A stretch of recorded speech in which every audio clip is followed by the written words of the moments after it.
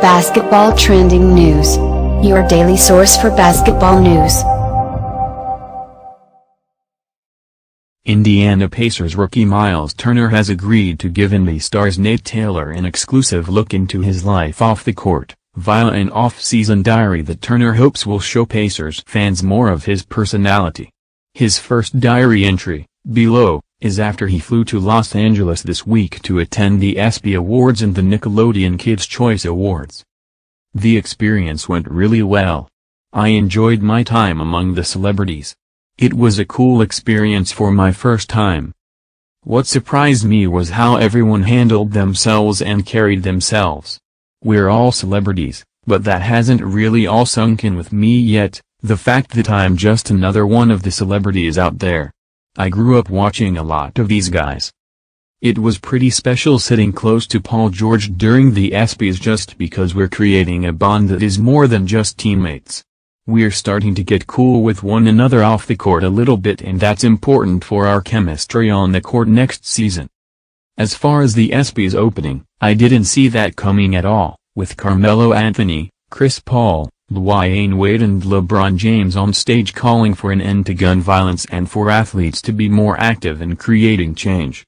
Their message was obviously strong, it was definitely an inspiring speech to see it come from athletes in the NBA in light of the recent events.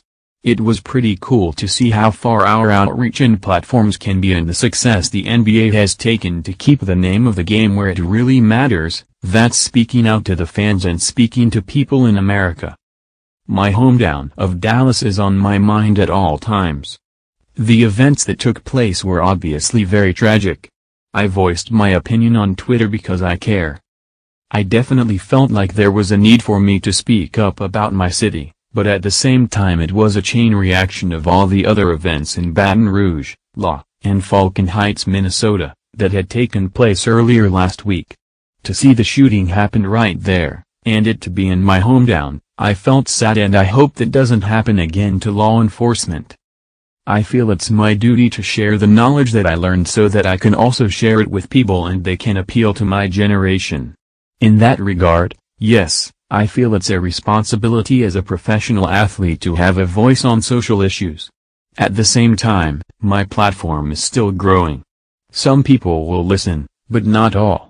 I'm not like LeBron James where he has almost billions of people listening to him. Anytime I can pitch in, and can give my two cents, I'll try. Basketball doesn't define who I am as a person. Craig Sager's acceptance speech for the Jimmy V Award for Perseverance was also touching for a number of reasons as he continues his battle with cancer. That was really inspiring and really cool. To see how many people Craig can reach with just his voice, being amongst that crowd, it was almost like he was giving us a commencement speech. That's what it felt like. It was almost surreal.